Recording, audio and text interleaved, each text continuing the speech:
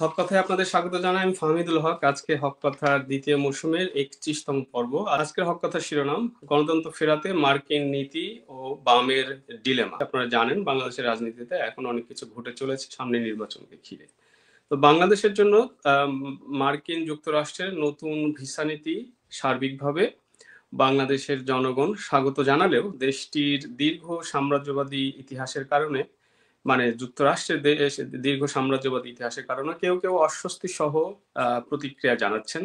বিশেষত বামপন্থী মহলের একাংশ মার্কিন যে কোনো কিছুর মতোই যুক্তরাষ্ট্রের প্রকৃত অভিসন্ধির ব্যাপারে সন্দিহান। এ বিষয়ে আজকে হক কথায় উপস্থিত হয়ে আলোচনা করবেন আজকের অতিথি রাজনৈতিক কর্মী পারভেজ আলম। আমাদের আরেকজন অতিথি, নির্ধারিত অতিথি, তিনি একটি বিশেষ কারণে আমাদের সঙ্গে যোগ দিতে পারছেন না, বাকি বিল্লা, তাকে নিয়ে আমরা ভবিষ্যতে হয়তো আরও শো করতে পারব। আজকে আমি এবং পারভেজ আলম এই দুজনে আলোচনাটা চালিয়ে নেব।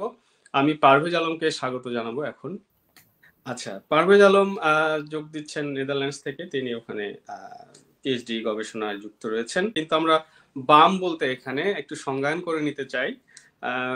যে বাম রাজনৈতিক দলগুলো আছে তাদের কথা যেমন আমরা মেন করছি, তেমনি বাম ভাবাপন্ন বিভিন্ন যে নাগরিক রয়েছেন নানানজন যারা অনেকেই স্বনামে উদ্ভাসিত, এই তাদেরকেও আমরা এখানে ধরে নিচ্ছি। কি কি অর্থে যে বাম রাজনৈতিক দলগুলো বাংলাদেশের প্রেক্ষাপটে অনেক বড় রাজনৈতিক শক্তি না হলেও এই যে বাম ভাবাপন্ন বুদ্ধিভিত্তিক চর্চা করেন যারা লেখক গবেষক অ্যাক্টিভিস্ট সব মিলিয়ে কিন্তু একটা তারা যথেষ্ট গুরুত্ব রাখেন বাংলাদেশের সামাজিক রাজনৈতিক প্রেক্ষাপটে। পারভেজ আপনি কি একমত না আমার সঙ্গে এ বিষয়ে? হ্যাঁ হ্যাঁ হ্যাঁ আচ্ছা কিন্তু আমরা এই ব্যাপারগুলো নিয়ে একটু কথা বলতে চাই। কারণ এই যে গোষ্ঠীটা, রাজনৈতিক দল, বাম রাজনৈতিক দল এবং বাম রাজনৈতিক কর্মী এবং যারা বাম ভাবাপন্ন আছেন, এদের মধ্যে এই সাম্প্রতিক রাজনৈতিক ঘটনাগুলি, বিশেষ করে যুক্তরাষ্ট্রের ভিসা নীতি নিয়ে বা তার তৎপরবর্তী ঘটনাগুলি নিয়ে বিভিন্ন ধরনের ক্রিয়া প্রতিক্রিয়া দেখা যাচ্ছে। তাহলে আমরা সংজ্ঞায়নটা করে নিলাম আমি যে প্রশ্নটা প্রথমে করতে চাই যে বাম রাজনৈতিক কর্মী হিসাবে আগামী নির্বাচনকে ঘিরে বিদেশিদের যে তৎপরতা বিষয়ে দেখা যাচ্ছে সে বিষয়ে আপনার ব্যক্তিগত মতামত কি? বিশেষত যুক্তরাষ্ট্রের ভূমিকা নিয়ে আপনার ব্যক্তিগত কোনো ডিলেমা আছে কিনা? কারণ আমাদের শিরোনামে ডিলেমা শব্দটা রেখেছি, দ্বিধা আছে কিনা? সে থাকলে সেটা কি রকম?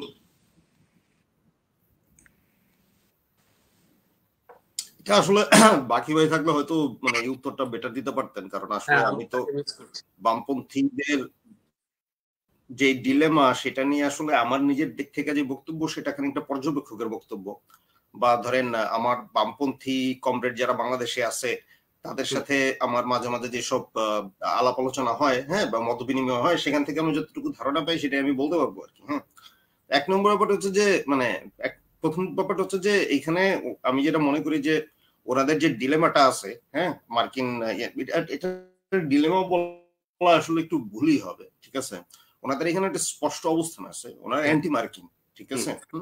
বাংলাদেশের সিপিবি বাসদ বলেন বা বামজোটের যে রাজনীতি বলেন হ্যাঁ বা তাদের সহমনা অন্যান্য যারা বাংলাদেশে আছেন এখনও হ্যাঁ তাদের রাজনীতিটা হচ্ছে অ্যান্টি মার্কিন সাম্রাজ্যবাদী রাজনীতি ঠিক আছে? এবং ওই জায়গা থেকে তারা কিন্তু ধরেন মানে প্রো রাশিয়া প্রো ইন্ডিয়া ঠিক আছে হ্যাঁ? সবাই হয়তো প্রো কেউ হয়তো প্রো রাশিয়া পুরোপুরি প্রো ইন্ডিয়া না কেউ প্রো ইন্ডিয়া প্রো রাশিয়া ওনাদের এই অবস্থানটা পরিষ্কার হ্যাঁ তো এখানে কোনো দ্বিধার কিছু নাই। ধরেন ষাটের দশকে যখন আপনি অ্যান্টি আমেরিকান সাম্রাজ্যবাদী একটা পলিটিক্স আপনি যখন করবেন ঠিক আছে? হ্যাঁ? বা আপনি যখন রাশিয়া এবং ইন্ডিয়ার সাথে ভালো সম্পর্ক রাখবেন বা ধরেন আপনি মাওবাদী হলে চীনের সাথে ভালো সম্পর্ক রাখতে চান প্রো চীন চায়না হ্যাঁ? হ্যাঁ? সেক্ষেত্রে আবার আপনি হয়তো প্রো ইন্ডিয়া হচ্ছেন কিন্তু প্রো চায়না হচ্ছেন।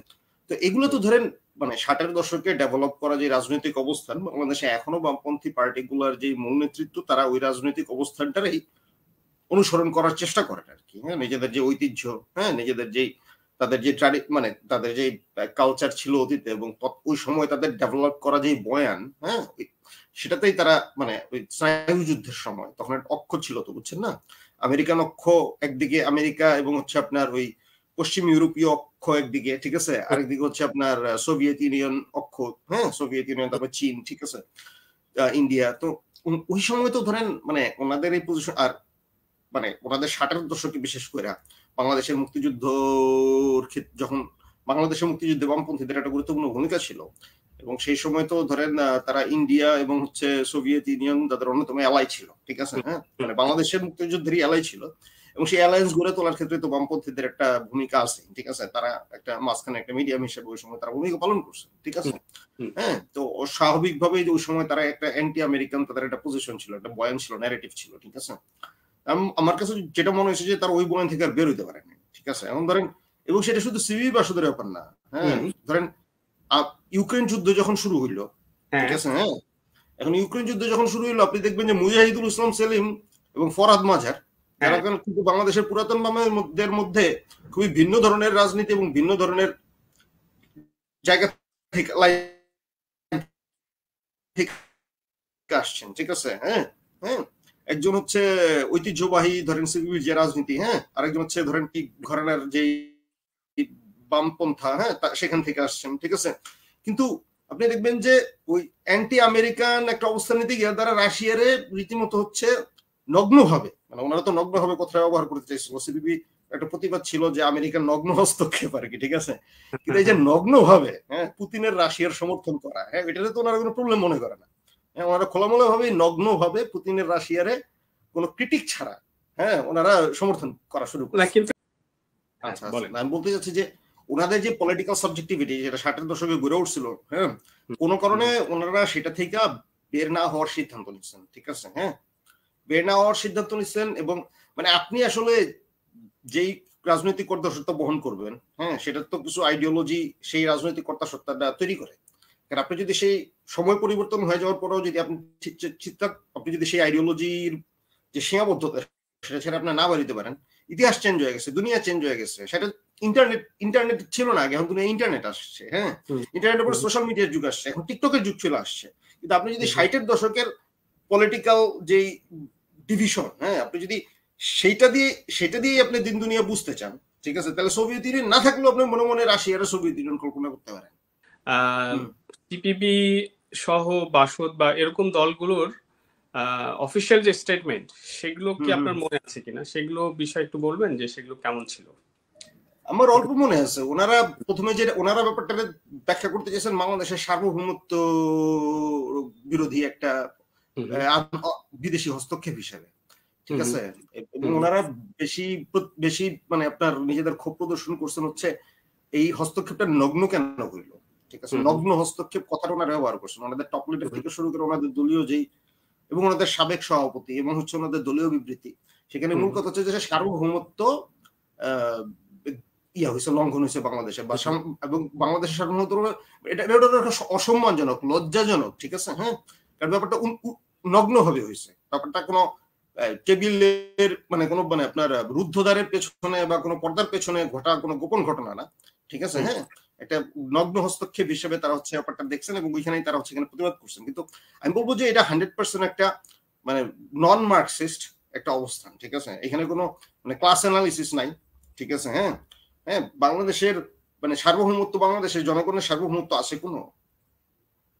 বাংলাদেশের জনগণের থেকে বাংলাদেশের বাংলাদেশের জনগণের থেকে তো ধরেন যে মানে কমোডিটি পণ্য পণ্যের সার্বভৌমত্ব বেশি। ইন্ডিয়া থেকে পণ্য বাংলাদেশে ঢোকে তাই না? বাংলাদেশ থেকেও পণ্য ইন্ডিয়ায় যায়। বাংলাদেশের নাগরিক যে ভিসার জন্য লাইন দিতে হয়। বাংলাদেশের জনগণের সার্বভৌমত্ব নেই। পারভেজ আলমের এই বক্তব্য হ্যাঁ এখন সঠিক। সার্বভৌমত্বটা হচ্ছে ধরেন ক্ষমতাসীন সরকারের সার্বভৌমত্ব। মানে সার্বভৌমত্ব কথাটার অরিজিনালি অর্থ কি? একটা রাষ্ট্রের সার্বভৌমত্ব থাকা বা একটা রাজার সার্বভৌমত্ব থাকার মানে কি? মানে অরিজিনালি এটার মানে হচ্ছে যে একজন রাজার সার্বভৌমত্ব মানে জনগণের জীবন মরণের উপরে রাজার ক্ষমতা আর কি। রাজা চাইলে জনগণের জীবন হরণ করতে পারে। বাংলাদেশের সার্বভৌম ক্ষমতা হ্যাঁ এবং সার্বভৌম সে যে অন্য কেউ তো ধরেন চাইলেই তো তারা হচ্ছে মানে অন্য কোনো মানে অন্য কেউ চাইলে তো তার হচ্ছে স্বাধীনতা হরণ করতে পারে না এরকম আর কি ঠিক আছে? হ্যাঁ? আপনার লড়াই করে তার স্বাধীনতা আপনার হরণ করতে হবে হয় হ্যাঁ? হয় আপনি তারা খুন করতে হবে অথবা যুদ্ধ করে তার স্বাধীনতা আপনাকে কেনা নিতে হবে। তো বাংলাদেশের জনগণ তো ওই হিসাবে তো স্বাধীন না কারণ বাংলাদেশের বাংলাদেশের সার্বভৌমত্ব আছে সরকারের সার্বভৌমত্ব আছে পুলিশের সার্বভৌমত্ব আছে র্যাবের কারণ তারা জনগণের যে কোনো সময় তুলে নিয়ে খুন খুন করে ফেলা বাংলাদেশের উপরে সার্বভৌমত্ব আছে ইন্ডিয়ান সরকারের ঠিক আছে? হ্যাঁ? তারা বাংলাদেশের পলিটিক্স নিয়ন্ত্রণ করে বাংলাদেশের গণতন্ত্র যে মানে বাংলাদেশে একটা অটোক্রেটিক সরকার তারা দীর্ঘদিন ধরে ক্ষমতায় ধরে রাখছে। সেটা কি খোলামেল সেটা কি ইয়া ছিল? লুকানো ছিল না? নগ্ন ছিল? তেরো সালে মানে আমরা শাহবাগ আন্দোলন তেরো সালে শাহবাগে আমিও ছিলাম আপনিও ছিলেন।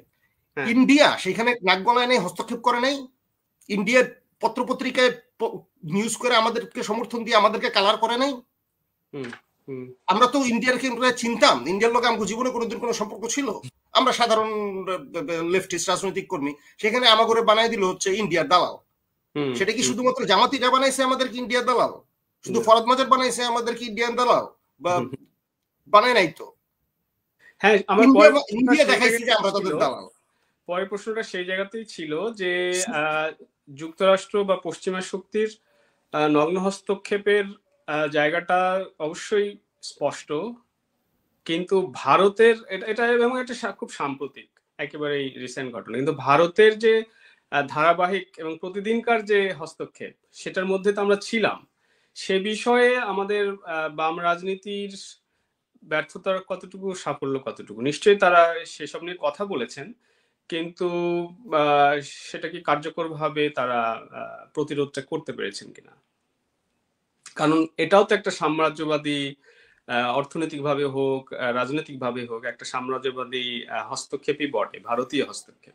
পজিশন থেকে একেবারেই একটা আপনার শ্রেণি রাজনৈতিক জায়গা থেকে যদি আমি হিসাব করি তাহলে বাংলাদেশের যে খেটে খাওয়া জনগণ হ্যাঁ তাদের কোনো সার্বভৌমত্ব নাই। সার্বভৌমত্ব আছে কর্পোরেটদের সার্বভৌমত্ব আছে বাংলাদেশের সরকারের সার্বভৌমত্ব আছে আমাদের জীবনের উপরে ইন্ডিয়ার সরকার এবং আপনার বর্ডার গার্ডের আমি যেটা বলতে চাচ্ছি যে ভাই মানে ওই যে আমেরিকা হচ্ছে বাংলাদেশের ধরেন মানে আমেরিকা তাদের যে আমেরিকার যে ভিসা নীতি সেটা তো তাদের ইসের ব্যাপার। তাদের ইন্টারনাল মানে তাদের যে স্বরাষ্ট্র মন্ত্রণালয় ঠিক আছে? আমি যদি ভুল না করে থাকি আমি আমেরিকার রাষ্ট্র অবস্থা সম্বন্ধে কিছু জানি না কিন্তু আপনার দেশে কে ঢুকবে না ঢুকবে সেটা তো মূলত আসলে ঠিক করা হচ্ছে স্বরাষ্ট্র মন্ত্রণালয়ের ব্যাপার সেটা তাই না?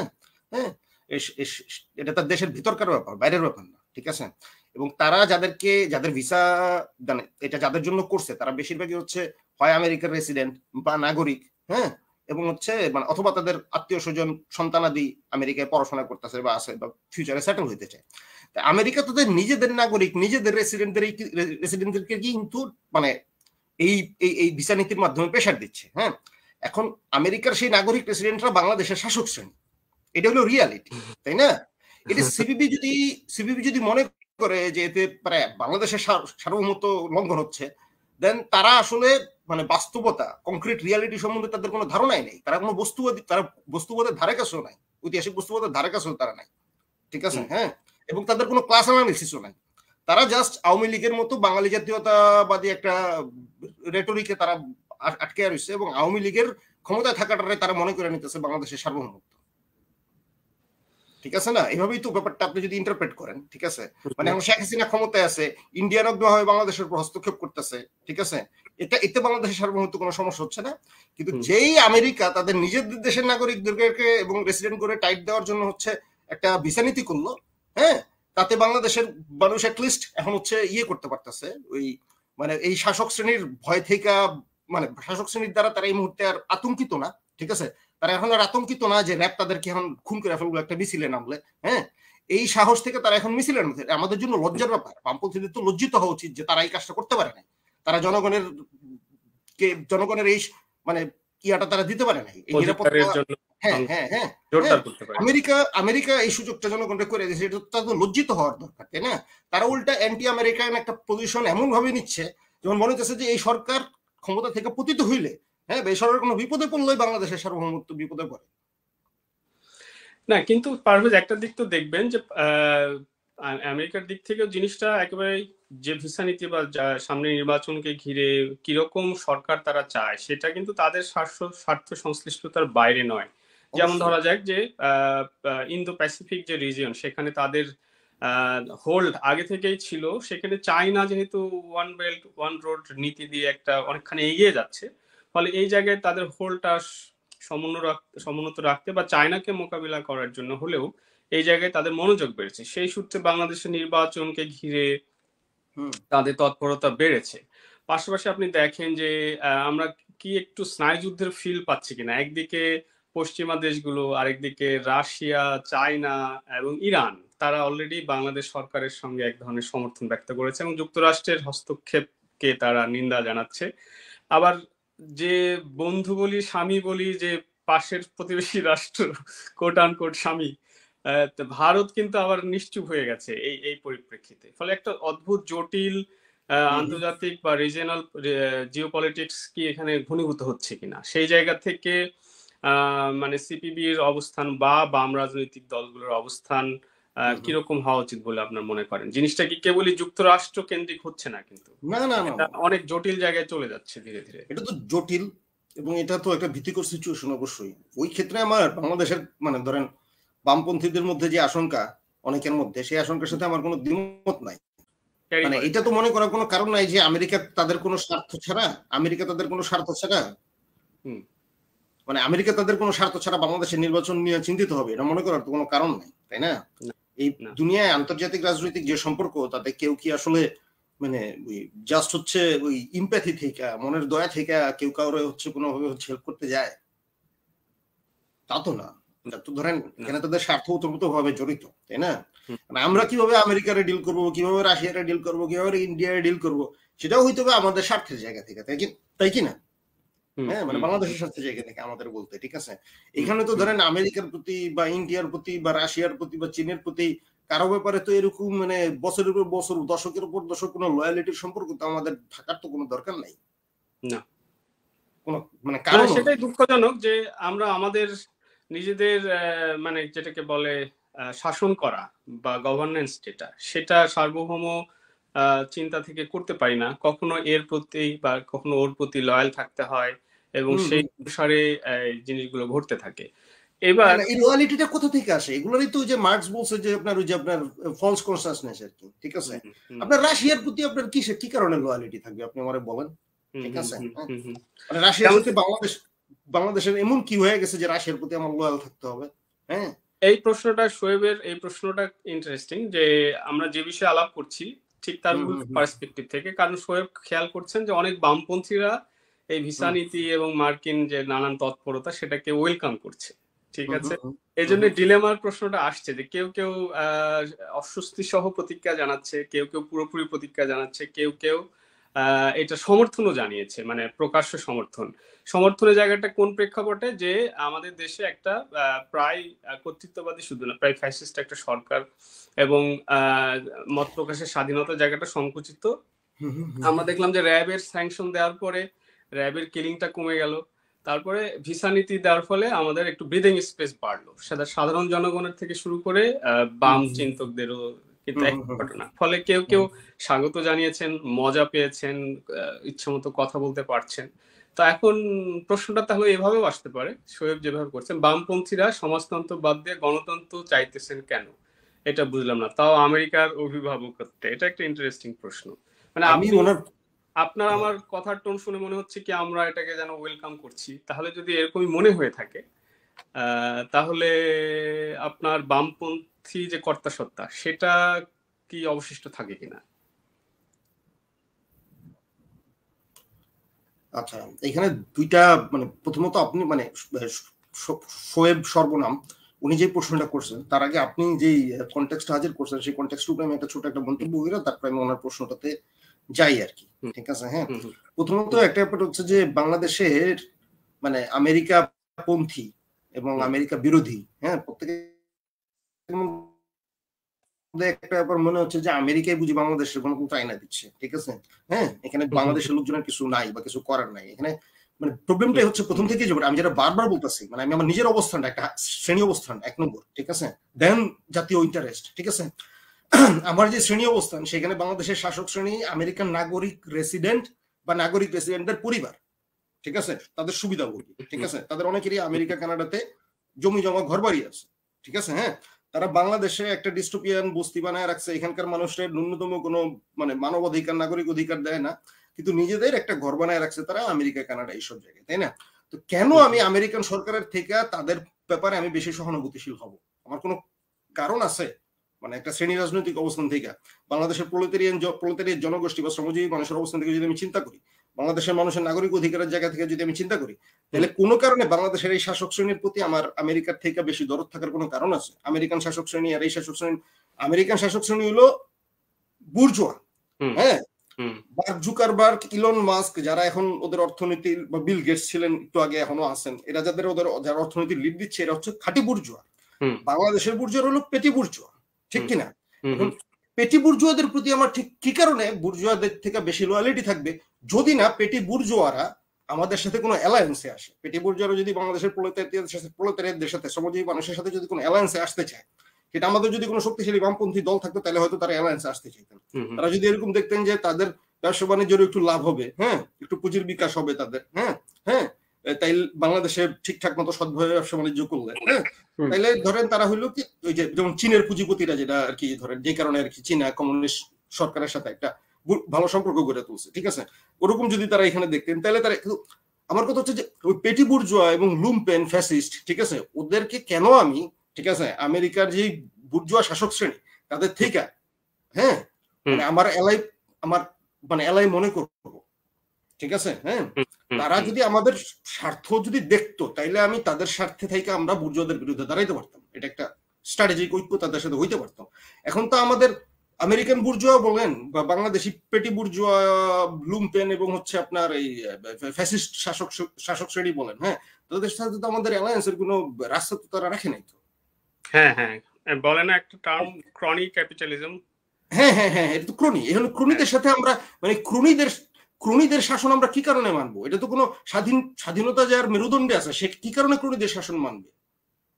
এবং আপনি একটা খেয়াল করবেন বাংলাদেশেও কিন্তু আমরা শেখ হাসিনাকে সামনে দেখছি। উনি আমাদের শাসনের প্রধান মানে চেহারা আর কি ফেস যেটা।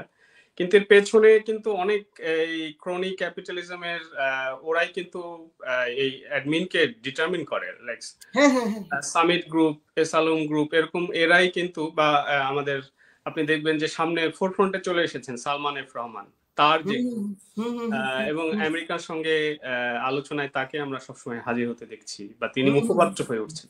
এটাই কিন্তু আসলে রাজনৈতিক শক্তিটাকে নিয়ন্ত্রণ করছেন। এবং দেখেন আপনি দেখেন যে রাজনৈতিক লোকদের মানে আরেকটা অফশোর ইয়ে হলো ইউএসএ কানাডা কিন্তু এদের অফশোর ক্যাপিটাল হলো কিন্তু সিঙ্গাপুর হয়ে যাচ্ছে। মানে সামিট অনেক কিছু গুপিয়ে গুপিয়ে সিঙ্গাপুরে। চলে গেছে। দুবাই এখন আরেকটা করেছে।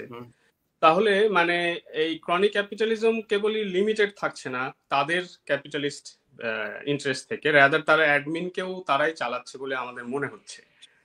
হ্যাঁ হ্যাঁ হ্যাঁ তারাই তো। মানে এখানে এখন এখন ব্যাপারটা হচ্ছে যে এবার আমি প্রশ্নটাতে আসি শোয়েব সর্বনামের জনাব শোয়েব সর্বনাম যে প্রশ্নটা করছেন। আমি প্রথমেই প্রশ্নটারে উইথ অল ডিউ রেসপেক্ট আমি বলব যে প্রশ্নটার মধ্যে একটা স্লোগান ধর্মী কথা ব্যাপার আছে আর কি ঠিক আছে? এবং সেটা সেটা আমি বলব না যে ওনার প্রশ্নের সমস্যা সেটা আমাদের আমাদের সমাজতন্ত্র নিয়ে আমরা যেভাবে হচ্ছে বাংলাদেশে মানে সিরিয়াস কোনো চিন্তা ভাবনা যেহেতু আমরা অনেকদিন করি নাই তাই এটা আমাদের ওনার প্রশ্নের সমস্যা নেই এটা আমাদের সমাজতন্ত্রীদের ট্র্যাডিশনাল সমস্যা ঠিক আছে? হ্যাঁ? আমরা আগে কিন্তু সমাজ আমরা সমাজতন্ত্র বাদ দিয়া কোন সমাজতন্ত্র বাদ দিতেছি আমরা?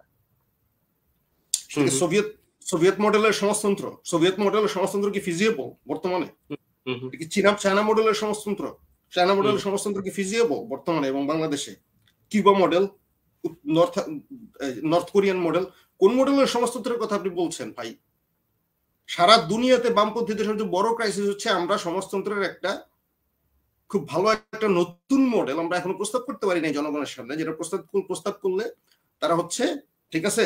তারা এই যে এই যে পুঁজিবাদী এত এত ভয়াবহ একটা সিচুয়েশন তৈরি হয়েছে। পুঁজিবাদ শুধু মানুষ শোষণ করে না, এখন প্রকৃতি শোষণ করে আমাদেরকে প্রতিনিয়ত মানে মানে আপনার অত্যাচার মানে মানে প্রাকৃতিক ইসের মধ্যে রাখতেছে আমাদের। এই ডেঙ্গুতে মানুষ, আমার দুজন প্রতিবেশী মারা গেছে। এক বোন ডেঙ্গুতে মারা গেছে গত পরশু দিন আজকে আরেক বোন মারা গেছে আমাদের আমাদের প্রতিবেশী। এদের সাথে আমি খেলাধুলা করে বড় হয়েছি ঠিক আছে? বয়স কম না একজন তো ঠিক আছে? হ্যাঁ? হ্যাঁ? জুরাইন বাসিরে দেখলাম আজকে জুরাইন তো আমাদের পাশের এলাকা। জুরাইন বাসিরে দেখলাম রাস্তায় মিছিল করতেছে আমরা ডেঙ্গুর হাত থেকে বাঁচতে চাই। এরা তো আমাদের ভাই বোন হ্যাঁ? এর একটা ডিস্টোপিয়া বস্তির মধ্যে থাকতেছে তো।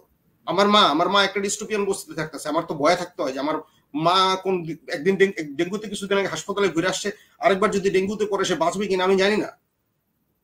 ঠিক আছে? এটা তো আমাদের রিয়ালিটি ঠিক আছে?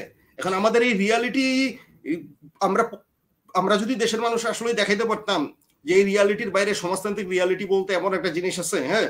মানে কোনো কাল্পনিক রোমান্টিসিজম না, বাবা, ঐতিহাসিক বস্তুবাদী মতো আচরণ করতে হবে তো। বাংলাদেশের বামপন্থীরা রোমান্টিসিজম মতাদর্শের দুই বা ঐতিহাসিক বস্তুবাদের সাথে সম্পূর্ণ রকম বিচ্ছিন্ন বিচ্ছিন্ন হয়ে গেছে তার ঐতিহাসিক বস্তুবাদী যে ট্রাডিশন সেই ট্রাডিশন থেকে। ঠিক আছে? হ্যাঁ? সেই ট্রাডিশনের মধ্যে যদি তারা থাকতেন তাহলে তো তারা এরকম চিন্তা করতেন না যে সমাজতন্ত্র বাদ দিয়ে আমি গণতন্ত্র প্রতিষ্ঠা করতে চেষ্টা করতেছি। এমনকি তারা যদি নিজেদের মার্কসিস্ট লেনিনিস্ট মনে করেন তাদের সবার আগে জিজ্ঞেস করতে হবে লেনিন কি কারণে সমাজতন্ত্র প্রতিষ্ঠা করছিলেন গণতন্ত্রর পথ না হাইটাই? কি আচ্ছা। কারণে করছিলেন? সব আমি শেষ করি আমি শেষ করি প্রশ্নটা। গণতন্ত্র কি গণতন্ত্র কি মানে সমাজতন্ত্রের বাইরের কিছু? মানে খালি যে স্ট্যালিনের মতো ব্যুরোক্রেটিক একনায়কতান্ত্রিক মডেলে কি সমাজতন্ত্র নাকি? তা তো না। মানে যে পার্টি শাসনের পার্টি শাসন কি সমাজতন্ত্রের একমাত্র মডেল তা তো না। লেনিন লেনিনের লেখা তো আপনারা এখন আপনারা যারা মার্কসিস্ট তারাও পড়েন না আপনারা কইতেছি না মানে এমনিতে বামপন্থীদেরকে বলতেছি আপনারাও পড়েন না তো লেনিনের লেখা। লেনিন গণতন্ত্র লেনিন গণতন্ত্র বাদ দিয়ে ক্ষমতা দখলের মানে গণ মানে সরি আপনার কুয়ের মাধ্যমে ক্ষমতা দখল করতে গেছে সশস্ত্র কায়দে ক্ষমতা দখল করতে গেছে মূলত এই কারণে তার নিজের বক্তব্য আছে যে যা মানে আমরা আমাদের জন্য ভালো হইতো লেনিন যারা বলছে আমাদের জন্য ভালো হইতো যদি আমরা একটা বুর্জোয়া ডেমোক্রেসির পথ পার হইয়া তারপর আমরা সমাজতন্ত্রে যেতে পারতাম। কিন্তু দুঃখজনক ভাবে জারের শাসনে আমাদের সেই লিবারাল ডেমোক্রেসি বা বুর্জোয়া ডেমোক্রেসির বিকাশের আর কোনো রাস্তা আমাদের রাখে নাই। যেহেতু আমাদের রাখে নাই তাই বুর্জোয়াদের দায়িত্বটা প্রলতারিদের নিতে হবে। তাই না? হ্যাঁ। এখন আপনি এই যে আওয়ামী জার, এই যে শেখ হাসিনার যে জারতন্ত্র, ঠিক আছে হ্যাঁ? সেই জারতন্ত্র আপনার এই লিবারাল ডেমোক্রেসি রক্ষার কোনো জায়গা তো রাখে নাই হ্যাঁ? এখন বাংলাদেশে যদি কোনো ওরকম লেনিনের মতো যদি কোনো পার্টি থাকতো, সংগঠন থাকতো, বলসেবিক থাকতো হ্যাঁ? তাহলে আমরা কইতে পারতাম যে এই জারার আন্ডারে তো আমরা তো আসলে গণতন্ত্রিক পথ পার হয়ে যেতে পারতেছি না so let us try to have a কু ঠিক আছে হ্যাঁ? আমরা ডিরেক্ট সশস্ত্র কায়দায় ক্ষমতা দখলের চেষ্টা করি, ঠিক আছে? সেই রকম তো কোনো আমাদের কাছে তো আলো নাই। আপনি আমার মতো একজন লোক হ্যাঁ যার কোনো পার্টি নেই, কিছু তার কাছে আপনি কি আশা করতে পারেন? সে আমরা, আমি তো দেখতেছি যে বাংলাদেশে এমন কোনো বামপন্থী পার্টি নাই যারা দিয়ে আমি ক্ষমতা দখলের কথা চিন্তা করতে পারি। কারণ বামপন্থী পার্টিগুলা, এরা আওয়ামী লীগের প্রতি লয়াল এরা হচ্ছে ইন্ডিয়ার প্রতি লয়াল এরা হচ্ছে আমেরিকার প্রতি সরি রাশিয়ার প্রতি লয়াল ঠিক আছে হ্যাঁ? সরি আমি একেবারে ডিরেক্টলি হয়ে বলতেছি, কারণ তাদের আচার আচরণ এরকমই মনে হয়। ঠিক আছে? হ্যাঁ তাদের নিজেদের কোনো একটা আলাদা স্বাতন্ত্র আছে সেটা মনে হয় না ঠিক আছে? তা আমি এখন কি করব? আমার একমাত্র মানে বাংলাদেশে যে মানে আমার এই যে আমার আমার মার জীবন নিয়ে যখন আমার চিন্তা করতে হয় আমার প্রতিবেশীদের জীবন নিয়ে যখন আমার চিন্তা করতে হয় হ্যাঁ আমি তখন একমাত্র চিন্তা করি যে মানে এই আওয়ামী লীগের স্বৈরতন্ত্র গিয়ে যদি বাংলাদেশে একটা লিবারাল ডেমোক্রেসি এখন আসে অ্যাটলিস্ট আমরা তো একটু আগাইতে পারি। মানুষের জীবনে তো একটু মানে হাফ ছাড়ার সুযোগ হয় ঠিক আছে? এবং সত্যি সত্যি যদি একটা লিবারাল ডেমোক্রেসির বিকাশ ঘটে তাহলে অ্যাটলিস্ট কার্ল মার্কস যেভাবে চিন্তা করছিলেন যে লিবারাল ডেমোক্রেসির পরবর্তী পর্যায়ে বুর্জোয়াদের সাথে সংগ্রাম করে হচ্ছে প্রলেতারিয়াত্রা একটা নতুন শ্রেণি হিসেবে বিকশিত হবে অতটুকু আমি নিজের কল্পনায় আনতে পারি, ঠিক আছে? ভাই, আমি স্লোগান ধর্মী স্লোগান ধর্মী কাল্পনিক রোমান্টিক চিন্তায় ভাই, আমি নাই, ঠিক আছে? হ্যাঁ? এবং আপনারা যদি বাংলাদেশের বামপন্থা নিয়ে যদি আপনাদের জেনুইন কোনো কনসার্ন থাকে, আপনারা যদি আসলে সমাজতন্ত্র নামে কোনো কিছু যদি ভবিষ্যতে আপনারা যদি কল্পনা করতে চান, দয়া করে এসব রোমান্টিক স্লোগান ছাড়েন। ঐতিহাসিক বস্তুবাদের মতো আচরণ করেন। কংক্রিট রিয়ালিটিরে কংক্রিট ভাবে সমাধান করার চেষ্টা করেন। দ্যাটস মানে এটাই আমার উত্তর আর কি। আচ্ছা ধন্যবাদ, আপনার উত্তরটা পেলাম। এবার আমি একটু অন্যদিকে একটু মনোযোগ ফেরাই। আপনি নেদারল্যান্ডস থেকে কথা বলছেন, আমি যুক্তরাষ্ট্র থেকে। যুক্তরাষ্ট্রের অভিজ্ঞতা একটু করে বলি, তারপর আপনার কাছে ইউরোপের অভিজ্ঞতা শুনতে চাইব। সেটা হলো, এটার প্রাসঙ্গিক। যে যে পশ্চিমা দেশগুলো হলো পুঁজিতান্ত্রিক এরকম একটা যে ইয়ে আছে। অবশ্যই তারা অফিসিয়ালি পুঁজিতান্ত্রিক কিন্তু আমি বলছি যে, এদিকের বাম চর্চার, বাম, বামপন্থা চর্চার কিন্তু একটা কন্টেম্পোরারি ব্যাপার আছে এবং সেইটা কিন্তু আমাদের বাংলাদেশের বামপন্থার চাইতে অনেক ভাইব্র্যান্ট অনেক জেনুইন সলিড এবং পুঁজিতান্ত্রিক সংস্কৃতির মধ্য থেকেই তারা অনেক কাজ করছেন। যে একজন এরকম বলেছেন যে, এটা এতটাই প্রভাবশালী হয়ে উঠেছে এখন যদিও রিপাবলিকান এবং ডেমোক্র্যাট দুটো দলই চালায় পুঁজি, পুঁজিপতিরা। তাদের ফান্ড ডোনেশনে চলে। এর মধ্যেও বার্নি স্যান্ডার্সের মতো কিংবা করবিনের মতো লোকজন কিন্তু গ্রহণযোগ্যতা পেয়ে উঠেছেন। বার্নি হয়তো নমিনেশন পেলেন না, কিন্তু দৌড়ে ছিলেন এবং অনেক প্রভাবশালী। তার একটা বক্তব্য কিন্তু অনেক প্রভাব রাখে এবং ডেমোক্র্যাটরা যে বিভিন্ন রাইট বেসড জায়গাগুলোতে মানে আমি বলছি যে যুক্তরাষ্ট্রের প্রেক্ষাপটে তারা তাদের যে একটা দায়িত্ব সহ কিছু কমিটমেন্ট আছে এবং প্র্যাকটিস আছে সেটা কিন্তু ওই বামপন্থীদের মানে বাম ভাবাপন্ন একটা যে গ্রুপ আছে কোনো পলিটিক্যাল পার্টি নেই কিন্তু আইডিওলজিটা কিন্তু এক ধরনের গ্রহণযোগ্যতা আছে তৈরি হয়েছে দিনে দিনে তৈরি হয়েছে এবং আমি যে ইউনিভার্সিটিগুলোতে আমি দুটো ইনস্টিটিউশনে পড়ালাম যুক্তরাষ্ট্রে আমি দেখেছি স্পেশালি যারা সোশ্যাল সায়েন্স ব্যাকগ্রাউন্ডের ফ্যাকাল্টি মেম্বার তাদের বেশিরভাগই লেফট ওরিয়েন্টেড হ্যাঁ এইটা আমি অভিজ্ঞতা থেকে বলছি। আমরা বাংলাদেশ থেকে যুক্তরাষ্ট্রকে বা পশ্চিমকে যেভাবে এক হোমোজেনাস একটা কালচার হিসেবে দেখি সেই জায়গায় কিন্তু ব্যাপারটা ওরকম না। র্যাদার আমাদের বামপন্থার চর্চা এবং মানে যেটাকে সলিড একটা ভূমিকা সেটাই বরং নানানভাবে ক্ষতবিক্ষত হয়েছে এবং আপোষ কামিতার নানান উদাহরণ আমরা দেখতে পাচ্ছি। আপনি একটু নেদারল্যান্ড এবং ইউরোপের প্রেক্ষাপটে বলবেন যে সেখানকার বাম বামপন্থার বা কমিউনিস্ট আন্দোলনের সোশ্যালিস্ট আন্দোলনের কি অবস্থা? আচ্ছা। না এটা তো ধরেন শুধুমাত্র মানে এটা মানে আপনি যেটা বলছেন এটা মোটামুটি ইউরোপ আমেরিকার কমন সিন আর কি বামপন্থীরা তো এইখানে একরকম রাইজে আছে। ডানপন্থীরাও রাইজে আছে। ফার রাইটরাও একরকম রাইজে আছে বামপন্থীরাও একরকম রাইজে আছে ঠিক আছে? এবং এই সিচুয়েশন তো আসলে ধরেন মার্কসের মার্কস যে কত প্রাসঙ্গিক একজন থিঙ্কার এখনও ঠিক আছে? এটা আমি আসলে আরও আমার এটা আমার বিশ্বাস পোক্ত হয়েছে সবচেয়ে বেশি আসলে ইউরোপে আসার পরে। কারণ আমি দেখছি যে যেহেতু এটা উন্নত পুঁজিবাদী সমাজ উন্নত পুঁজিবাদী সমাজে ধরেন এই যে মানে কীভাবে আস্তে আস্তে একটা ওয়ার্কিং ক্লাস একটা চেতনা মানুষের মধ্যে শক্তিশালী হচ্ছে ঠিক আছে? হ্যাঁ? মানে পিওর ক্লাস ওয়ার্কটা যেভাবে হচ্ছে এখানকার মানুষ যেভাবে ফিল করে হ্যাঁ? এখনকার উঠতি ধরেন তরুণ সমাজ উঠতি মধ্যবিত্তরা। কারণ এটা তো ভাই পেইন তো ঠিক আছে? এই পেনের মধ্যে দিয়ে তো ধরেন আমরা মানে প্রত্যেকে যায় না এই পেনের মধ্যে দিয়ে হ্যাঁ, ঠিক আছে? বোঝা আর কি। হ্যাঁ হ্যাঁ হ্যাঁ এবং আমার আমেরিকার অবস্থা সবচেয়ে আমেরিকায় খুব সম্ভবত ওই যে মানে আমেরিকারে আমার কাছে মনে হয় যে আমেরিকার পুরো সিস্টেমটা খুবই নির্দয় একটা সিস্টেম একটা ফসল ফুয়েল পুরানো সিস্টেম কিন্তু এই সিস্টেমের মধ্যেই আমি দেখলাম যে মানুষের সাফারিংসও বেশি। এই সিস্টেমের মধ্যেই অনেক মানে মুসলিম মানুষ আছে। এবং এই মুসলিমদের মানে যাতনা থেকে শুরু করে র্যাডিকালিজমও বেশি ঠিক আছে? ইউরোপে কিন্তু র্যাডিকালিজম অপেক্ষা কিন্তু কম কারণ ইউরোপের সোসাইটি অনেক ডিসিপ্লিনারি সোসাইটি এবং পশ্চিম ইউরোপের ধরেন কল্যাণ রাষ্ট্র তারা তৈরি করছে সোভিয়েত ইউনিয়নের লগে প্রতিযোগিতা করতে গিয়ে। অটোমেটিক্যালি দেখা গেছে যে মানুষের নানান রকম মানে মানুষের মানে ওই যে পথে গিয়ে দাঁড়াইতে হওয়ার মতো সিচুয়েশন কম হয় হ্যাঁ? মানে কেউ যদি অ্যাটলিস্ট কাজকর্ম করে টিকা থাকতে চায় ঠিক আছে হ্যাঁ? মানে রাষ্ট্র তাকে কোনো না কোনো পর্যায়ে একটা সাপোর্ট দেয়। হ্যাঁ হ্যাঁ হ্যাঁ হ্যাঁ। ধরেন নেদারল্যান্ডসে স্টুডেন্টরা তিরিশ বছর বয়স পর্যন্ত সে সরকারি খরচে পড়ালেখা করতে পারে হ্যাঁ? হ্যাঁ? হ্যাঁ? মানে তার যদি না তার বাপ মার একটা একটা মানে আয় একটা পর্যায়ে ক্রস করে যুক্তরাষ্ট্রে হাই স্কুল বা টুয়েলভ পর্যন্ত পড়াশোনা ফ্রি তারপরে আচ্ছা। অনেক এক্সপেন্সিভ ব্যাপার আচ্ছা আচ্ছা। না এখানে ইউনিভার্সিটি পর্যন্ত ঠিক আছে? হ্যাঁ?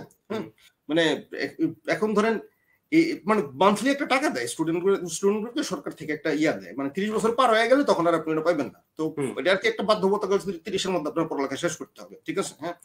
কিন্তু মানে এই যে এই যে এইরকম একটা সেফটি নেটের মধ্যে যখন হচ্ছে স্টুডেন্টরা বড় হয় তখন তো তাদের পক্ষে আসলে র্যাডিকাল হওয়ার সম্ভাবনাটা কমে যায় সুযোগটা কমে যায় ঠিক আছে?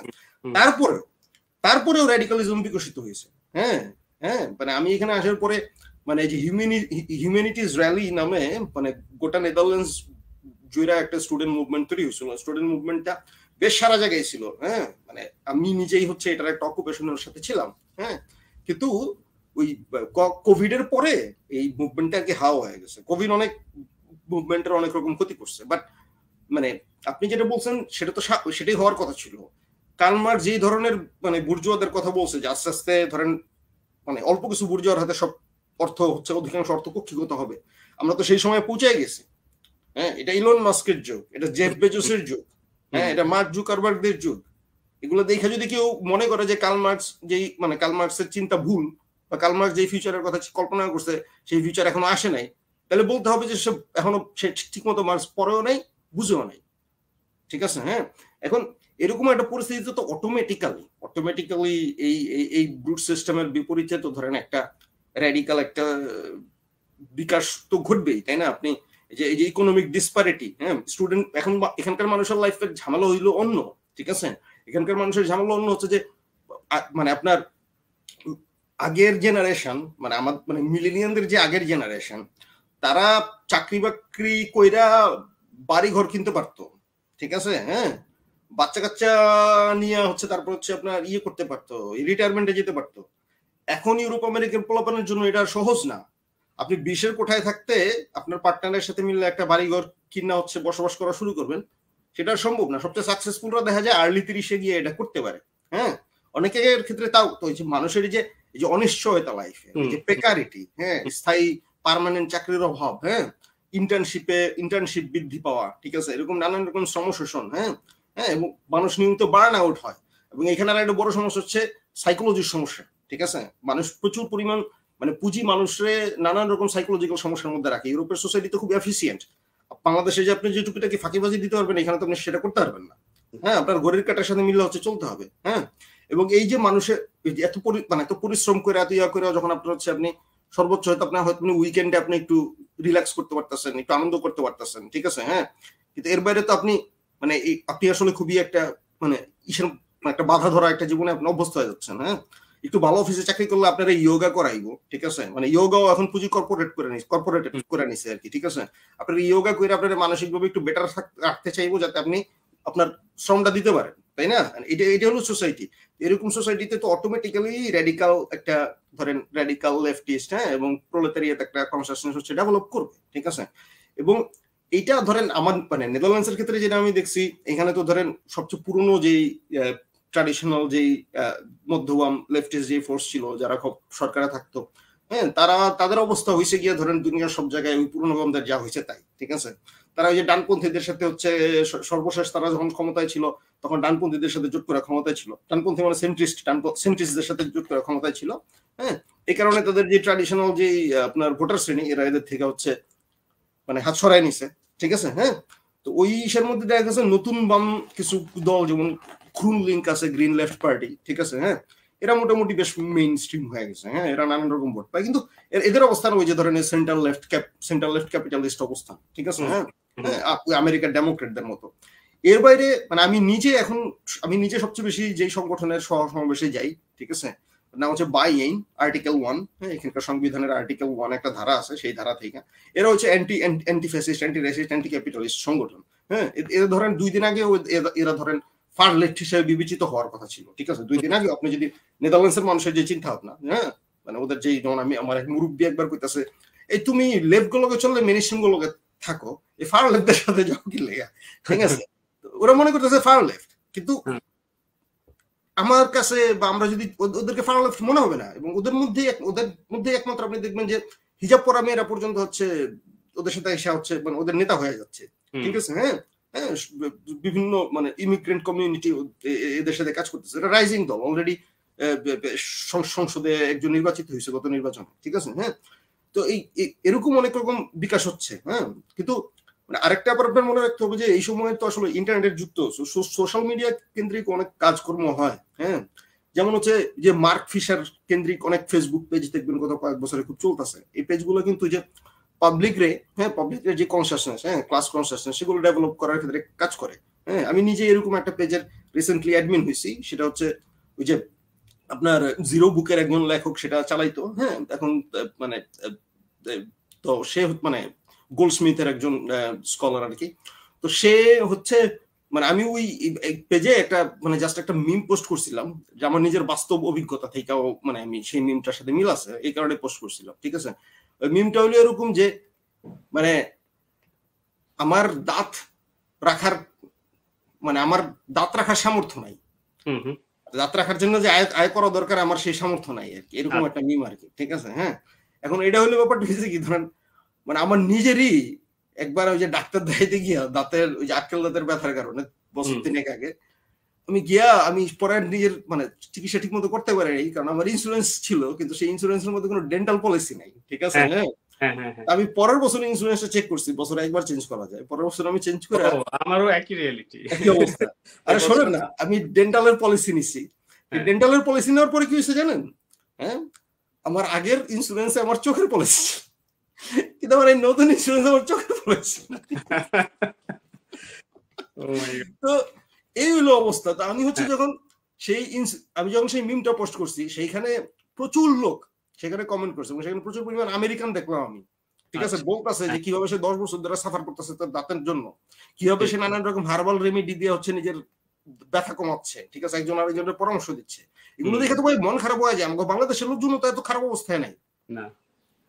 আমাদের বাংলাদেশের লোকজনও মানে যে হ্যাঁ। দাঁতের কথা নিয়ে এরকম পরিস্থিতিতে নেই যেটা ধরেন যে আমেরিকার প্রলেতারিয়েত শ্রেণি আছে। এবং এটা তো প্রলেতারিয়েত কি? আপনি খোঁজ নিলে দেখবেন ওরা ইউনিভার্সিটিতে ইউনিভার্সিটি ডিগ্রি নেওয়া মোটামুটি ধরেন মধ্যবিত্ত কিসিমের লোকজন মধ্যবিত্ত মধ্যবিত্ত কিসিমের লোকজন। এদের হলো রিয়ালিটি তাই না? এখন এগুলো হচ্ছে মানে আপনার বামপন্থা বামপন্থীদের মানে ধরেন মানে আমি নিজের ক্ষেত্রে যেটা মনে করি আমার নিজের একটা কন্ট্রাডিকশন আছে। আমি খুবই আন্তর্জাতিকতাবাদী চিন্তা ভাবনা করি এখন। আগের মতো বাংলাদেশে থাকতে যে যতটা জাতীয় স্বার্থ কেন্দ্রিক ছিল তার থেকে আমার কমে গেছে। কিন্তু আবার বাংলাদেশের প্রসঙ্গ আসলে আমি একরকম জাতীয় স্বার্থ কেন্দ্রিক আমি অটোমেটিক হয়ে যাই। তো এই যে দুইটা কন্ট্রাডিকশন আমি এই কন্ট্রাডিকশনের ইয়া করি না মানে ধরেন একটা বাদ দিয়ে আর একটা আমার রাখতে হবে এটা আমি মনে করি না। আমি দুইটা একসাথে ধারণ করতে চাই যেন ওই দুইটা থেকে একসাথে কোনো একটা সিনথেসিস কোনো একটা তাহলে আমরা বাংলাদেশ প্রসঙ্গে আবার ফিরি। আমরা এই আলোচনাটা করলাম এই জন্য যে একটু দর্শক শ্রোতাদের একটা ধারণা দিতে। আমি যুক্তরাষ্ট্র থেকে আপনি ইউরোপ থেকে যে আমরা এই পশ্চিমা দেশগুলোকে যেভাবে হোমোজেনাস ওয়েতে ভাবি ব্যাপারগুলো ঠিক সেরকম না। মানে এখানেও নানান ধরনের প্রতিরোধ এবং বামপন্থ, বামপন্থের চর্চার চলমান এবং এটা সামাজিক কারণেই এটা গ্রো করে, এটা এমনি এমনি হয় না। আমরা শেষ প্রসঙ্গে আসি যে আমরা তো ইউরোপ, আমেরিকা থেকে আবার বাংলাদেশে আসি। এই যে যেটা নিয়ে আমরা শুরু করেছিলাম আলোচনাটা, এই যে মানে আমাদের একটা কর্তৃত্ববাদী পরিবেশ, রাজনৈতিক পরিবেশ, প্রশাসনিক পরিবেশ, জনগণের মত প্রকাশের স্বাধীনতা নয়, অর্থনৈতিক স্বাধীনতাও সেটা নিয়ে কথা বললেও রাতের বেলা সাংবাদিককে উঠে নেওয়া হয় সেটা আপনার মনে পড়বে। তো এই যে রিয়েলিটি এর মধ্যে যুক্তরাষ্ট্র, পশ্চিমা দেশগুলো বাংলাদেশের একটা সুষ্ঠু অবাধ নির্বাচনের জন্য কিছু পলিসি প্রণয়ন করেছেন। তাতেই যেন অনেকখানি পরিবর্তনের আভাস দেখা যাচ্ছে। এই এই কনটেক্সটে বামপন্থী দলগুলো বামপন্থী চেতনা ধারণ করেন যে ব্যক্তিবর্গ, তাদের ভূমিকা আসলে এই সামনের কয়েকটা মাসে কিংবা আরও ইমিডিয়েট যে কতগুলো বছর সামনে আসবে, কীরকম হওয়া উচিত বলে আপনি মনে করেন? আমরা তো অনেক ক্রিটিক করলাম। আপনি কোনো মানে দিক নির্দেশনার জায়গায় কিছু মন্তব্য করবেন কিনা? মানে আমি আসলে এটা মন্তব্য করলে তেমন মানে কোনো লাভ হবে না। কারণ আমি তো ধরেন এগুলো নিয়ে বহু বছর ধরে লেখালেখি করতেছি। এটা আমাদের শেষ প্রসঙ্গ আমরা এরপরেই শোটা শেষ করি হ্যাঁ হ্যাঁ এটা ধরেন এটা সমস্যা আমরা যে এটা আসলে কেউ তো আসলে ধরেন ইয়া করে না। আসলে বাংলাদেশের বামপন্থী যে লিডারশিপ তারা এগুলো পাত্তা দেয় না। কারণ তারা মনে করে যে যেহেতু তারা রাজনৈতিক লিডারশিপ তারা এই হচ্ছে সবকিছু ভালো বুঝে এবং তার বয়সেও তারা একটা মানে তাদের একটা বয়স অভিজ্ঞতা এগুলো আছে। হ্যাঁ হ্যাঁ ধরেন মানে আপনার একটা ছোট একটা উদাহরণ দিই। ধরেন আমি বাংলাদেশে বোধহয় আমার লেখালেখির মধ্যে বোধহয় সবচেয়ে মানে একটু ইনফ্লুয়েন্সিয়াল বা সমাজে একটু ভূমিকা রাখা একটা বই হলো জিহাদ খেলাফত সিলসিলা ঠিক আছে? এখন এই বইটা যখন আমি এই বইটা শেষ অংশটা কিন্তু খুবই পরিষ্কার ছিল। শেষ অংশটার মধ্যে খুব পরিষ্কার ভাষায় আমি নিজেকে রেফারেন্স দিয়া এবং বাংলাদেশের যেই প্রবাসী শ্রমিক ঠিক আছে হ্যাঁ? তাদেরকে একটা গুরুত্বপূর্ণ রেডিকাল শ্রেণি হিসেবে আমি সেখানে হচ্ছে উপস্থাপন করছি। এবং আমি জিজেকের বরাদ দিয়া নিজের কথা ওরা যাতে একজন বর্তমানে একজন অন্যতম একজন মার্কসিস্ট থিঙ্কারের কথা বললে যেতে যেহেতু মানে বাংলাদেশের বামপন্থীর একটু গুরুত্ব দেয় আমি জিজেকে রেফারেন্স দিয়ে আমি সেখানে বলছি যে মানে এই যে প্রবাসী শ্রমিক এদের এদের তো আসলে বামপন্থীদের এদের তো বামপন্থী বিপ্লবে থাকার কথা ঠিক আছে? হ্যাঁ? কিন্তু এদেরকে যদি তা এদেরকে যদি এদের লেফটিস্ট কনসাসনেস রেভলিউশনারি কনসাসনেস যদি গঠন না করা যায় এরা চলে যাবে হচ্ছে এদের এক্সপ্লোর করবে রাইট উইংরা ফার রাইটটা হ্যাঁ? হ্যাঁ? এখন আপনি দেখেন এটা দুই হাজার পনেরো সালে আমি বই লিখছি দুই হাজার ষোলো সালে শেষ করছি দুই হাজার ষোলো সালে এই সংস্করণটা বের হয়েছে এরপরে ছয় সাত বছরে আমি বিভিন্ন সময় এগুলো নিয়ে কথা বলছি প্রবাসী শ্রমিকরা কীভাবে ক্লাস পলিটিক্সে আমাদের জন্য গুরুত্বপূর্ণ ঠিক আছে? হ্যাঁ? কারণ এটা আমি দেখছি তাদের আমি খুব ছোটবেলা থেকে আমি প্রথম যখন দেশ ছাড়ছি আমার বিভিন্ন এয়ারপোর্ট এয়ারপোর্ট দেখার অভিজ্ঞতা হয়েছে তখনই আমি দেখছি যে এদের ক্লাস অবস্থানটা তখনই আমি দেখছি। আমার নিজের ক্লাস অবস্থানটা আমার ক্ষেত্রে বুঝতে সুবিধা হয়েছে। ঠিক আছে? এখন দেখেন গত কয়েক বছরে এই এই মানে জিয়াদ খেলাফতের পরে আবির্ভাব হওয়া সংগঠন হইল অধিকার পরিষদ তাই না? সেই অধিকার পরিষদ আইসা বাংলাদেশের সবচেয়ে খুব সম্ভবত সবচেয়ে শক্তিশালী একটা প্রবাসী শ্রমিকদের সাথে সবচেয়ে প্রবাসী শ্রমিকদের নিয়ে সবচেয়ে শক্তিশালী একটা সংগঠন তারা দাঁড় করায় ফেলছে। প্রবাসী শ্রমিকরা তাদের যেই কষ্টার্জিত যে আয় সেটা তারা অধিকার পরিষদের কাছে হচ্ছে তারা ফান্ড দিচ্ছে সেইখান থেকে ঠিক আছে?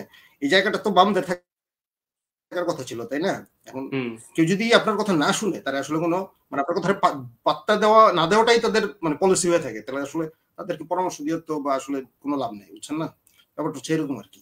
এমন না যে ধরেন এইখানে আমি যা বলব তা আমি আসলে অন্য কোনো জায়গায় কখনো বলি না। বাংলাদেশের বামপন্থীদের লাইন কীরকম হওয়া উচিত এটা নিয়ে আমার ফেসবুকে কিছু ইন্টারেস্টিং ডিসকাশন আছে আমার সময় কিছু নিউ লেফদের সাথে ঠিক আছে? ব্যাপারটা খুব পরিষ্কার। বাংলাদেশ একটা বামপন্থী সংগঠন হইতে হবে, যার আউটলুকটা হবে ইন্টারন্যাশনালিস্ট একদিকে সে বাংলাদেশের যেই জনগণের পক্ষে যে ক্লাস পলিটিক্স সেটা সে করবে এবং সেটা করতে গিয়ে যদি তার পেটি পেটি বুর্জুয়াদের সাথে নিয়ে যদি দেশের জাতীয় পুঁজির বিকাশ করতে হয়, সেটাও সে করবে, করা দরকার। কারণ সেটা যদি না করে তাহলে তো বাংলাদেশ হিসেবে সে টিকতে পারবে না। কারণ তার চারিদিকে হচ্ছে ইন্ডিয়া, চীনের মতো ক্যাপিটালিস্ট শক্তি। সেখানে সে মাঝখানে শূন্যের মধ্যে দিয়ে নিজের ক্যাপিটালিস্ট ক্যাপিটাল বিকাশ না করে সে টিকা থাকতে পারবে, এটা এটা বাস্তবসম্মত না। ঠিক আছে? হ্যাঁ? কেউ যদি মনে করে যে আমি এখানে ভুল, দয়া করে আমার ভুল ধরাই দিবেন, যে কি মানে এটা বাস্তবসম্মত হ্যাঁ? ওই কারণে মনে করি যে এরকম একটা সংগঠন যার একদিকে হচ্ছে মানে এই এই ব্যাপারটার দিকে মনোযোগ দিতে হবে, ঠিক আছে? জাতীয় জাতীয় পুঁজির বিকাশ এবং দেশের মানুষের স্বাধীনতা স্বাতন্ত্র অক্ষুণ্ণ রাখতে তার একটা হেল্প দ্বিতীয়ত তার আউটলুকটা হইতে হবে বাংলাদেশের জনগণের যেহেতু শুধু বাংলাদেশ না, সারা দুনিয়া, ঠিক আছে? হ্যাঁ? হ্যাঁ বাংলাদেশের এক কোটির উপরে মানুষ সারা দুনিয়া ছড়াই ছিটে আছে, এই সংখ্যার সামনে আস্তে আস্তে আরও বাড়তে থাকবে হ্যাঁ? একটি খুব বেশি দিন লাগবে না যে ইহুদিদের থেকে বড় মানে আন্তর্জাতিক জাতিতে পরিণত হবে বাংলাদেশের মানুষ হ্যাঁ?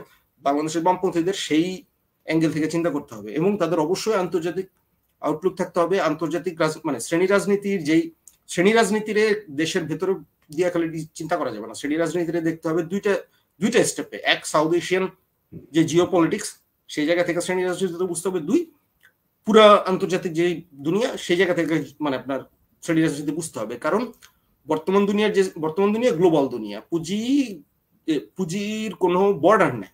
হ্যাঁ? পুঁজি এতটাই সার্বভৌমত যে কোনো বর্ডার দিয়ে তারা আর এখন ঠেকায় রাখা যায় না। উপায় নেই, ঠিক আছে? এই ক্ষেত্রে একমাত্র উপায় হচ্ছে যে আপনি এখন যদি আপনার শ্রেণি রাজনীতি করতে হয় খেটে খাওয়া মানুষের রাজনীতি বুঝলুমদের জন্য আপনার রাজনীতি করতে হয় তাহলে আপনার এই গোটা দুনিয়া কেন দুনিয়ার যে ক্ষমতা কাঠামো সেই জায়গা থেকে হচ্ছে আপনার চিন্তা করতে হবে। এখন আমি সরাসরি কার্ল মার্কসের একটা উক্তি দিয়ে আমি মানে এই আলাপটা শেষ করি তাহলে আমার সুবিধা হবে। হ্যাঁ, শোনার আগে আমার জাস্ট একটু পয়েন্ট আকারে বলতে ইচ্ছে করছে যে হ্যাঁ, হ্যাঁ এই যে আমাদের আরেকটা যে কি বলব প্রলেতারের শ্রেণির একটা গ্রুপ অর্থাৎ গার্মেন্টস ওয়ার্কার যেটা বড় একটা গ্রুপ তাদের সঙ্গে আমাদের মনে হয় বাম দলগুলো কিছু মাত্রায় অবশ্যই কাজ করে। কিন্তু আপনি যেটা বললেন প্রবাসীদের যে গ্রুপ সেটার সঙ্গে আমি তো কোনো মানে জিরো ইয়ে দেখি প্রিভ্যালেন্স দেখি। মানে আপনি এটা একটা ভালো জায়গা হ্যাঁ, উল্লেখ করেছেন। আর মার্কসের উদ্ধৃতির পরে আমার আমি জাস্ট ওয়ান লাইনার একটা শুনতে চাই যে ভিসা নীতি পরবর্তী যে সিচুয়েশন সেখানে বাম শক্তি কি করতে পারে? আমি আপনি মার্কসের কোডটা একটু সেইখানেও মানে আপনার ওটা কথা ঠিক আছে। শ্রমিক শ্রেণির মধ্যে বাংলাদেশে তো ধরেন ব্যাপারটা হচ্ছে ওই মানে ওই দ্বিতীয় বিশ্বযুদ্ধের পরে যে ফোর্ডিস্ট সময় যে ধরেন যে সময়টা হচ্ছে অ্যাসেম্বলি লাইনের যে সময় ছিল হ্যাঁ? এবং বা তারও আগে কলকারখানার শ্রমিকদেরকেই প্রলেতারিয়াত ভাবার যে প্রবণতাটা বাংলাদেশের বামপন্থীদের কলকারখানার শ্রমিক হলো সম্ভাব্য প্রলেতারিয়াত এটা আপনার বুঝতে হবে কাল মার্ক যে প্রলেতারিয়াতের কথা বলছিলেন সেই প্রলেতারিয়াত আসে না এই দুনিয়ায় হ্যাঁ? সেটা একটা কনসাসনেস ডেভেলপ হইলে। প্রলেতারিয়াত আপনি শ্রমিক হইতে পারেন কিন্তু আপনার প্রলেতারিয়াত কনসাসনেস না থাকতে পারে। সেটা না থাকলে আপনি কি হবেন আপনি লুম্পেনও হইতে পারেন। লুম্পেন হয়ে আপনি আপনি আওয়ামী লীগের শ্রমিক সংগঠন করতে পারেন তাই না? হ্যাঁ বাংলাদেশের সিপিবির শ্রমিক রাজনীতি করে ধরেন আওয়ামী লীগের শ্রমিক রাজনীতির প্রতি অনুগত লোক আপনি পাইবেন। ঠিক আছে হ্যাঁ? মানে এখন মানে শ্রমিক আপনি পাইবেন। এখন ব্যাপারটা এখন ব্যাপারটা হচ্ছে কিন্তু কলকারখানাই তো একমাত্র শ্রমিক নাই যে গার্মেন্টস এর কথা বললেন হ্যাঁ? গার্মেন্টস তো পরে আসছে তাই না? তো গার্মেন্টসও কারখানা। কিন্তু যে প্রবাসী শ্রমিক হ্যাঁ এটাও শ্রমিক হ্যাঁ আবার ধরেন এখনকার দিনে শ্রমিকদের থেকেও বেশি প্রেকারিয়াস জীবনযাপন করা শ্রমিকদের থেকেও বেশি অনিরাপদের জীব অর্থনৈতিক অনিরাপদ নিরাপত্তাহীনতার মধ্যে বসবাস করা ধরেন টাই পরা ভদ্রলোক শ্রমিকও আছে বাংলাদেশে অনেক তাই না? হ্যাঁ ওই আট ঘণ্টা যে শ্রম অধিকার হ্যাঁ সেটাও তাদের নাই। তো বামপন্থীদের উচিত ছিল এই সবগুলা এই প্রলেতারিয়াত বলতে হ্যাঁ এই পুরা সবাই হচ্ছে ইয়ে করে মানে আলাদা আলাদা শ্রেণির ব্যাপারগুলো বোঝায় এবং হ্যাঁ এবং এইটাও বোঝায় যে প্রলেতারিয়াত কোনো কংক্রিট শ্রেণি না। প্রলেতারিয়াত একটা পটেন্সিয়ালি একটা কামিং শ্রেণি। বুর্জুয়ারা যেরকম একজন একটা দুনিয়া পরিবর্তন করে ফেলা একটা শ্রেণি যারা পুরানো সামন্ত অবস্থা ধসাই দিয়ে একটা নতুন একটা সিস্টেম তৈরি করছে ঠিক আছে হ্যাঁ? কলকারখানা করছে এই করছে সেই করছে। প্রলেতারিয়েট মানেও কিন্তু এরকম একটা শ্রেণি যারা বুর্জুয়াদের মতোই অ্যাডভান্সড হ্যাঁ চেতনাগত জায়গায় যারা বুর্জুয়াদেরকে রিপ্লেস করতে পারে। প্রলেতারিয়াত যে প্রলেতারিয়াতের মধ্যে অটোমেটিক্যালি কিছু বুর্জুয়া বৈশিষ্ট্য থাকবে। ঠিক আছে? হ্যাঁ? চিন্তাগত যে মানে র্যাডিকালিজম বিপ্লবের দিক দিয়ে, সমাজ পরিবর্তন করে ফেলা পুরানারা সরায় নতুন কিছু করা হ্যাঁ? এই দিক দিয়ে প্রলেতারিয়াত থাকবে হচ্ছে আপনার বুর্জুয়াদের মতো। কিন্তু তারা বুর্জুয়ারা যেখানে শোষণ ব্যবস্থা হচ্ছে পুনরুৎপাদন করে, শোষণমূলক সমাজ ব্যবস্থা বুর্জুয়া পলতারিয়াতের কাজ হচ্ছে সেটা সমাপ্ত ঘটানো। পলতারিয়াতের কাজ হচ্ছে নিজের মুক্তি এবং সকলের মুক্তি ঘটানো। এই কথাটাই আমি এখান থেকে পড়তে চেয়েছিলাম। যে আপনার on the contribution of the of Hegel's philosophy of right হ্যাঁ? সেইখানে হচ্ছে কালমার যে কথাটা বলছিলেন ঠিক আছে? আমি সেখান থেকে হচ্ছে মানে আপনি এখানে আমি পড়ি পড়লে হচ্ছে এখানে মার্কস রাইট নিয়ে কি বলছে সেটা একটু যদি আমি পড়ি হয়তো ব্যাপারটা একটু পরিষ্কার হইতে পারে হুম? এবং এখানে কিন্তু সে কিন্তু আলাপটা করছে কিন্তু জার্মান ইমানসিপেশন নিয়ে ঠিক আছে? আচ্ছা। হ্যাঁ? মানে পুরো দুনিয়ার হিসাবটা এখানে কম যদিও আছে পুরো দুনিয়ার পুরো দুনিয়ার ক্ষেত্রে আলাপটা এখানে চলে আসতেছে। হ্যাঁ সেটা আমি দেখাচ্ছি। কিন্তু মূলত আলাপটা কিন্তু হচ্ছে ইয়া নিয়ে আপনার জার্মান ইমানসিপেশন নিয়ে। এখন জার্মান ইমানসিপেশনের মতো এখন ধরেন বাংলা বাংলাদেশের ইমানসিপেশন হ্যাঁ বাংলার ইমানসিপেশন যদি আমি বলি বাংলাদেশের বলি বা গোটা বাংলার ইমানসিপেশনই বলি হ্যাঁ বা গোটা দক্ষিণ এশিয়ার ইমানসিপেশনের কথা বলি সেই ক্ষেত্রেও আপনার আমার মনে হয় যে তার এই বক্তব্য এখনও খুবই প্রাসঙ্গিক। এখন কি বলতেছে এখানে? কীভাবে সেটা ইমানসিপেশন সম্ভব? In the formation of a class with radical chain এমন একটা ক্লাস বানাইতে হবে নতুন একটা ক্লাস বানাইতে হবে যার একটা রেডিকাল সিলসিলা আছে। ঠিক আছে? যার একটা দীর্ঘ রেডিকাল সিলসিলা আছে। A class of civil society which is not a class of civil society paradoxical কথা। এমন একটা সিভিল সোসাইটি আমাদের লাগবো যে আসলে সিভিল সোসাইটি না। একই সাথে সিভিল সোসাইটি কিন্তু সিভিল সোসাইটি না। ঠিক আছে? হ্যাঁ? মানে বুঝতে চাচ্ছি যে যে হেগেলিয়ান দুনিয়ার যে সিভিল সোসাইটি বা বুর্জুয়ার যে সিভিল সোসাইটি হ্যাঁ?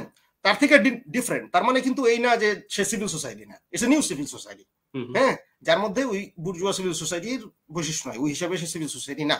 ঠিক আছে? যেহেতু সিভিল সোসাইটি আইডিয়াটা গঠিত হয়েছে একটা বুর্জুয়া ইয়ের মধ্যে ডেভেলপমেন্টের মধ্যে ঠিক আছে? হুম। বাট এই না যে no civil society post civil society ঠিক আছে? Civil society that is not a civil society মানে তারা এমন একটা সিভিল সোসাইটি যারা আসলে সিভিল সোসাইটির প্রয়োজনীয়তা একদিন শেষ করে ফেলবে। ঠিক আছে? এরকম আর কি an state which is the dissolution of all states ঠিক আছে? মানে এমন একটা রাষ্ট্র সিস্টেম বা রাষ্ট্র ব্যবস্থা হ্যাঁ এমন একটা শাসন ব্যবস্থা যা আসলে সকল শাসন ব্যবস্থারই সমাপ্তি। ঠিক আছে?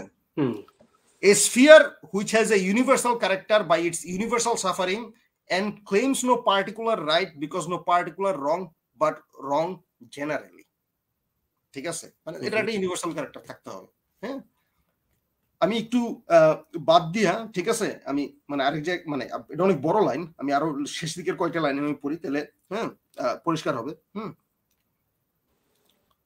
finally which cannot emancipate itself without emancipating itself from all other spheres of society and thereby emancipate, emancipating all other spheres of society, which, in a word, is the complete loss of man and hence can win itself only through the complete rewinning of man. মানে এই প্রলেতারি শ্রেণি হচ্ছে এমন প্রলেতারি এমন একটা শ্রেণি, যার হচ্ছে নিজের মুক্ত করার জন্য এমন সব জায়গা থেকে মুক্ত করতে হইব যে তার নিজের মুক্ত করতে হইব, যে জায়গাগুলো তার সমাজের যেসব স্ফিয়ারগুলো তারা বন্দি করে রাখে। তো সে যখন নিজের মুক্ত করতে যাবে, তখন তার সবাই মুক্ত করতে হবে।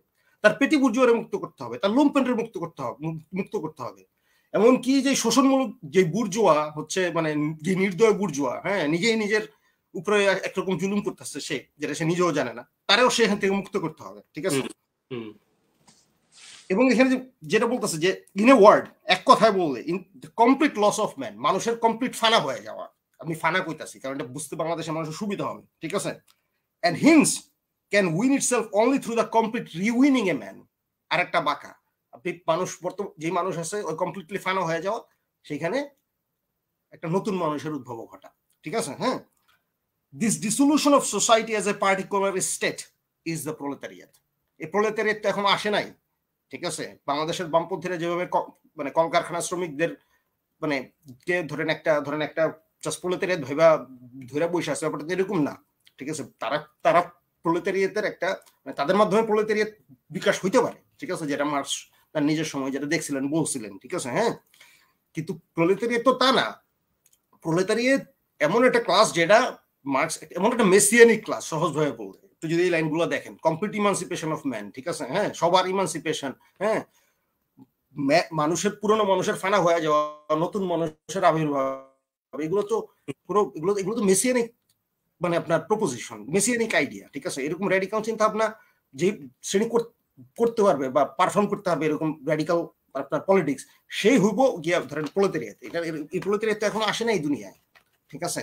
আমাদের বাংলাদেশের ইমানসিপেশনের জন্য এরকম একটা প্রলেতারিয়াত আনার জন্য আমাদের সংগ্রাম করতে হবে এবং সেই সংগ্রামের পদ্ধতি ওই যেটা বললাম আর কি আমাদের সব কন্ট্রাডিকশন ইন্টারন্যাশনালিস্ট হওয়া আবার জাতীয় স্বার্থের কথা চিন্তা করা সেই কন্ট্রাডিকশনও আমি মনে করি যে এই এই ইমানসিপেশনের পলিটিক্স এর মধ্যে দিয়ে আর কন্ট্রাডিকশন থাকবে না সে একটা সিনথেসিসে পরিণত হয়ে যাবে। ঠিক আছে হ্যাঁ?